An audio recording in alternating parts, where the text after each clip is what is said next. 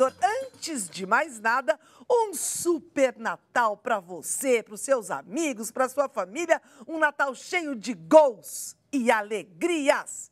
Começa agora o cartãozinho verde, o nosso especial de Natal. E hoje, no nosso Feras e Ferinhas, o convidado vai fazer o nosso programa, ó, tremer. Com ele, ó, não tem gol, não. Ele nasceu em Veranópolis, no estado do Rio Grande do Sul. Começou a sua carreira profissional em 2006 no Grêmio, grande time. Em 2007, foi para Holanda, olha que chique, defender o PSV Eindhoven. Será que eu tô falando certo? Depois Tá. a gente... Acho Tô? que sim, tá. Ih, muito acho. bem. Você viu? Eu tô falando até holandês aqui.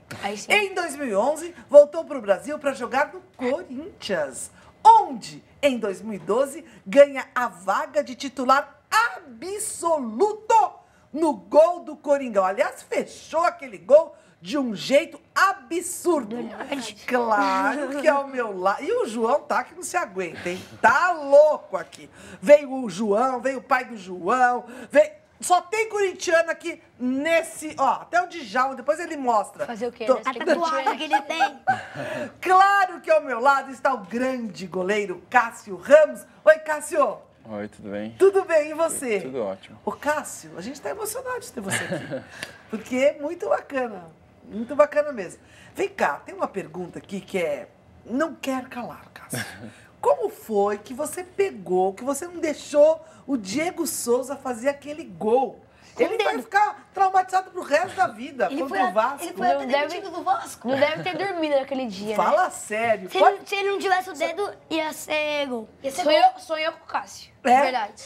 Nossa senhora. Não, pode falar, Cássio. Pelo amor de Deus. Pode falar. É, eu acho que acho que isso é, foi muito de treino, né? Muito treinamento, é, dia a dia, e concentração também, que é uma coisa faz parte do treinamento, ter concentração e foco no jogo. Eu acho que naquele momento coincidiu de eu estar bem concentrado e bem focado no jogo e poder explorar minha altura e minha envergadura e ter defendido aquela bola. Tem alguma coisa, uma coisa que eu vou te perguntar, porque meu filho é goleiro também. Tomara que. Mas assim, tem alguma pressão que você faz assim, física, psicológica, um olhar, alguma coisa que você assusta o adversário? Olha, acho que não. Acho que é, no atacante, é, questão atacante, acho que o goleiro é importante também não ir antes da bola. Importante é esperar até o último momento para decidir o lado, porque conforme o atacante vem chegando, vem chegando e o goleiro não se mexe, dificulta muito para o atacante a, a ação dele. Então é importante estar bem concentrado e bem é, esperar até o último momento para ir na bola. Olha que bacana isso que ele tá falando. Da hora. Essa coisa de esperar, né? Não dá toque pro outro pra onde você vai pular, né? Como é ser campeão da Libertadores com o Corinthians?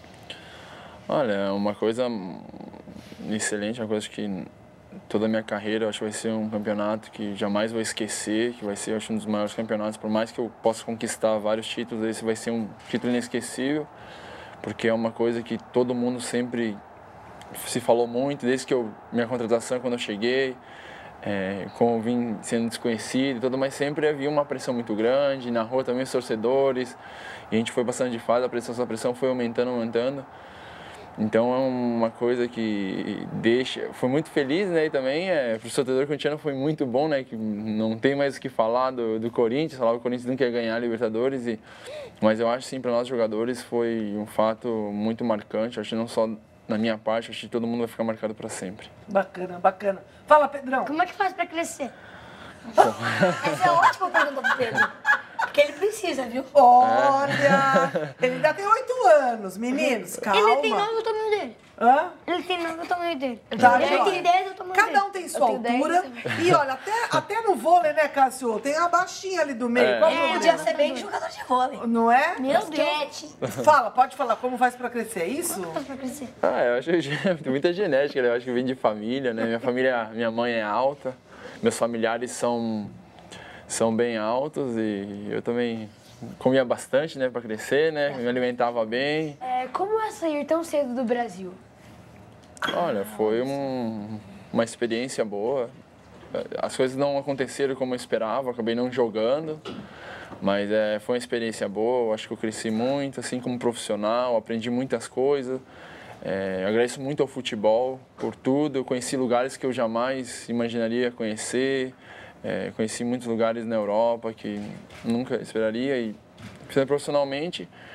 É, na época eu tive uma proposta muito tentadora financeiramente. Acho que um monte de jogadores hoje aqui no Brasil se equilibrou muito isso, mas é, é, o sonho da independência. De, no meu caso, era o meu sonho de dar uma casa para minha mãe, ajudar minha família. Então, me iludi, me iludi bastante. Fiz a escolha de querer ir embora e não me arrependo. Eu acho que eu tive dificuldades, as coisas não deram certo, mas é, tudo aconteceu como tinha que acontecer e hoje eu estou no Corinthians. Então, é, deram certo mesmo, deram né? Foi certo. um caminho é, um para você Exatamente. alcançar o seu caminho. Como que é morar na Holanda? É difícil. é Eles difícil. são muito diferentes da gente, né? É, bem diferente. É um povo. Eles são hospitaleiros, mas são um povo bem quieto, assim. Aham. E a gente pega de setembro a fevereiro, só neva. Muito Nossa, neve, neve, neve. Pega temperaturas de menos 10, menos 5, fica difícil. Nossa, deve ser uma E a língua também é bem difícil. É, apesar de ser um país bem desenvolvido, todo mundo fala inglês lá, mas é, eu, no meu caso, o clube exigia que eu falasse holandês, eu estava no país dele, então eu tinha que falar holandês. Então, no primeiro ano eu tive bastante dificuldade, e no- nos outros anos eu fui me adaptando e Você consegui fala ver- holandês? Falo, consigo falar. Não me lembro muita coisa ainda, acho que se eu tivesse alguém que falasse, eu diálogo, conseguiria falar bem. Fala. Qual a diferença do futebol europeu europeu pro brasileiro? Olha, acho que mais é a questão da, da habilidade, assim, dos brasileiros. Hoje, o futebol brasileiro é, tem muito drible, muito... é, o jogador normalmente pega a bola e vai para cima para tentar o gol toda hora. Não, ah, no futebol europeu o pessoal trabalha mais a bola, tem mais toque de bola. É, na Holanda eu via... para mim, goleiro, eu tive bastante dificuldade também, porque lá o goleiro é, parece um líbero. É, os zagueiros lá não dão chutão para fora, recuam pro goleiro para começar o jogo. E por vezes eu vi o time atacando, tava quase fazendo um gol, aí tava tudo, não tinha como entrar, eles voltavam, tudo, trabalhavam a bola para chegar. Então lá eles tocam mais a bola, tem bastante chute de fora da área lá também, então é um pouco diferente. Legal. E Fala, co- Eric. é, como você resolveu ser goleiro? Eu acho que era ruim na linha. Eu, mas não, acho que com, com 11 anos, 10 on- anos, eu comecei a jogar, meu tio começou a me levar e eu comecei a jogar no gol e gostei. Gostei de jogar e depois meu tio me deu uma luva, e, mas a partir do momento que eu joguei a primeira vez no gol, eu nunca mais quis jogar em outra posição, sempre gostei. Como quando tu é novo, diz, não, tu não- eu não tinha medo da bola, chutavam forte ou fraco, eu ia na bola, é, gostava. Então, É sempre, goleiro. desde novinho, eu gostei de jogar e nunca mais parei. É da hora ser goleiro. Fala, quem vai falar? É, eu. Você se inspirou em algum goleiro para ser goleiro? Olha, eu tive muitas pessoas assim que foram tudo por etapas, né? É, no começo, quando comecei a jogar no gol, eu gostava de ver o goleiro do time da minha cidade. É, depois comecei a ver o Tafarel, comecei a ver outros goleiros. Aí depois eu mas um goleiro que sempre gostei muito de ver foi o Oscar Córdoba, que foi um goleiro colombiano que jogou no Boca Juniors. Olha. E até quando eu comecei a ter admiração por ele, foi um jogo contra o Palmeiras da É, Libertadores, Cássio, Quem ganhou? por acaso. até agora tava tudo bem É. Mas eu, um goleiro assim que eu, que eu admiro muito, mas tem grandes goleiros, o Tafarel.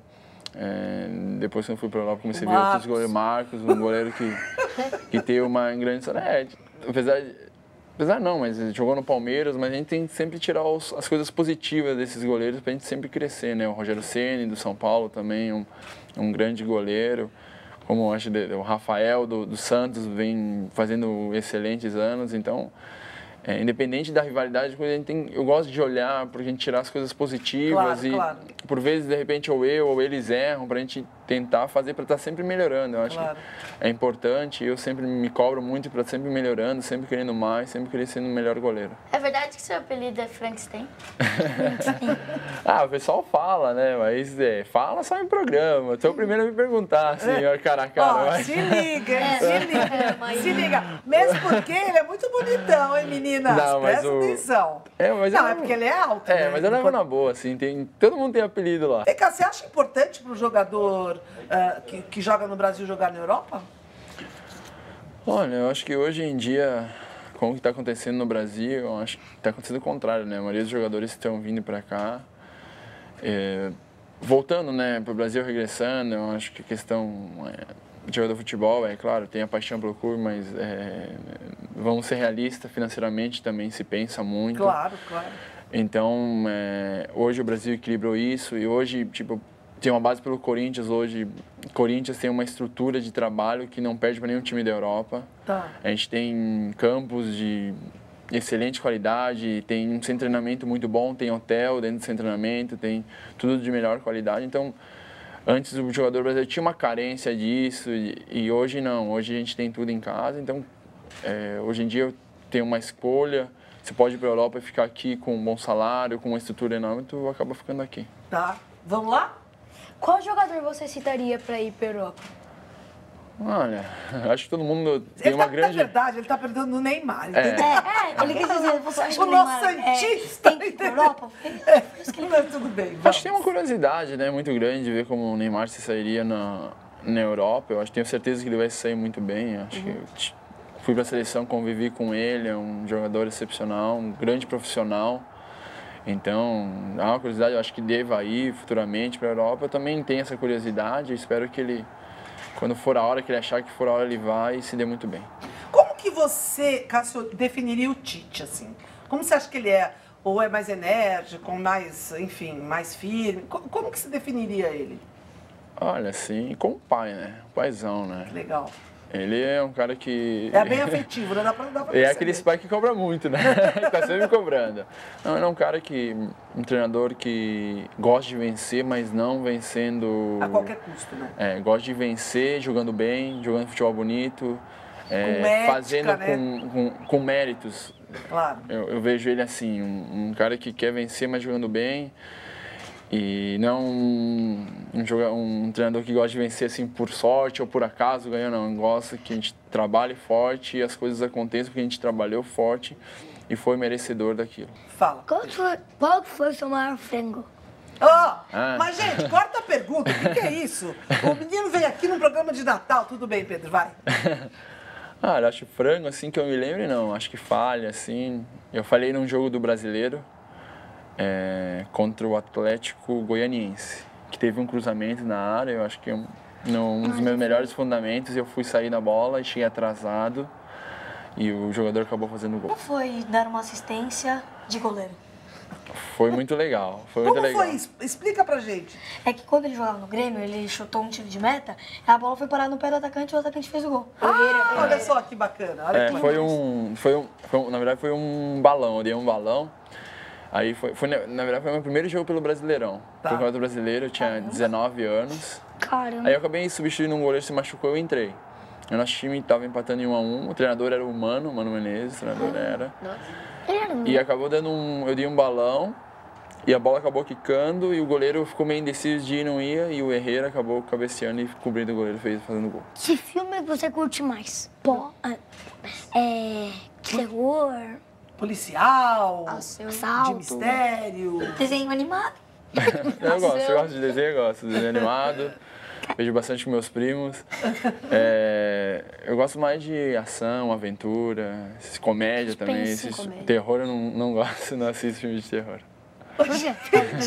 O Cássio me contou que ele tem uma surpresa aqui. Pra todo mundo e uma pro João.